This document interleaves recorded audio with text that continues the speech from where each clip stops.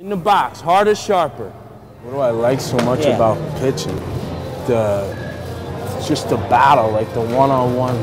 It's like personal, you know. It's you and him. Yeah, it's you versus that guy down there. Mm-hmm. And that guy, for you know, it got to a point where that guy was taking food off your table. And for these kids, you know, I, I, let- I let them know that yo, every time you're out there, it's like another kid's gonna take a scholarship from you, you know.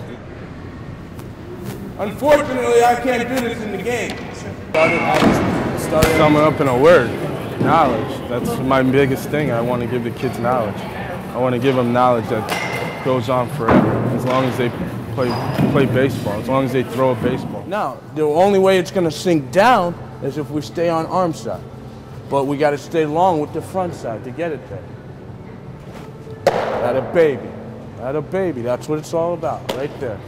Now you're getting like more in here. We got to get here. We got to get there. Hey, stride far and just boom at the end. Think about just at the end. Boom. Stay through it. Right.